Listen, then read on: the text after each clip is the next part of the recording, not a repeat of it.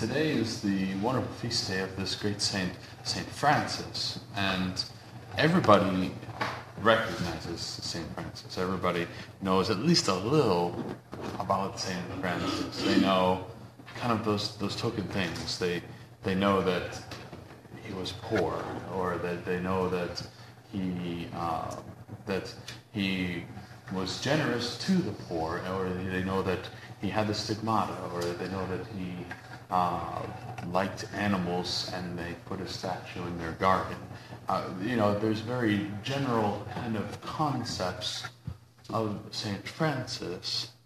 And all of those things that we know of him, you know, that he found in the Franciscan order, uh, these things all contributed to his sanctity. But I don't think it gets to really the crux of the matter of his sanctity. You see, what really makes him such a great saint is, in a way, tied in like we were talking last night about Saint Therese, is that his immediate turning to do God's will. He never hesitated at all in doing so. You know, we see that he was born of, of, a family of means. He is uh, a, a, soldier in the army and all of these things. That he was, he had a, a career that was a successful one in the making, and he was going to live a comfortable and, and successful life. And you know, nothing wrong with that. But God had other plans for him, and so God calls him to this life and asks him to, to restore his church. And so he leaves all things behind. He, he takes off and starts to serve God immediately. And he thinks actually it's so immediate that it's almost like it's almost like he didn't even wait around to figure out the, to hear the rest of God's message in it because God tells him to restore my church and he goes and starts to rebuild the physical church in the town.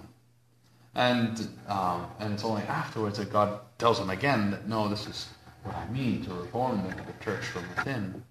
And he, you know, he rejects all of his wealth and all of his, his, uh, his, his inheritance from his father immediately to, to leave all things behind and follow our Lord. So much so that he takes the very clothes off his back and gives them to his father in the middle of the street, not even waiting to find some sort of place of shelter to, to, to strip himself of these garments. He just takes it off and throws it to, to him so he could follow our Lord. And when he's called upon to found a new, new order, he doesn't wait around for, for this. He, he immediately starts living that life himself of absolute poverty, of absolute charity. And when he's called to, uh, to do any things along the way, there's ne- we never see in St. Francis a hesitation whatsoever. In, in everything that he does, he does it immediately. And that includes, first off, all the good things that he did in all of the, the, the works of, of, of virtue. He never hesitates. But also, in his turning away from what is evil, temptations that, that, that would come to him, he would immediately turn away. He didn't want it even to get the slightest of, of ground on his soul. He wanted to cast it away before he could even have the chance to, to be able to entertain it. He, and we see this most strongly in when St. Francis was tempted in the way of the flesh. You know, he had this temptation to come upon him against the flesh. And he saw by the roadside that he was on this bush of brambles, of, of thorns. And without hesitation, he dives into the thorns and begins to roll around in the thorns until those that temptation is gone from him. His body is being assaulted by temptations towards unjust pleasure, so he punishes it in order to take away even the slightest thought of giving in to those temptations. Now, of course, that is something that we don't, you know, I don't sit here and recommend that all of you go out and start diving into, into thorn bushes. But that spirit of it, that idea of not even waiting a second to turn from what is tempting towards what is necessary in, in God, that we, every instant that we have, we're always looking for the opportunity to turn to Him immediately, without hesitation, without compromise, without trying to play both sides of that aisle. We follow that pathway because that's what makes saints, like we talked about last night, that's what makes these people such great saints, is that they turn to God's will in the big and in the small things, that they themselves are humble, that they go and do whatever is God's will in their lives, regardless of what they had planned out for themselves, regardless of what they think is the best course of action. They know if God is on one side of that choice, that is the best course of action. The godly way. And we see that in the life of St. Francis, and we have to look to ourselves in our lives how much do we imitate this great saint? Or I should say, how little do we imitate this great saint? Because really all of us fall short. That's you know, that's why we have the confession. That's why it's there for us because we need it. But how can we grow in that way? We, we look to ourselves.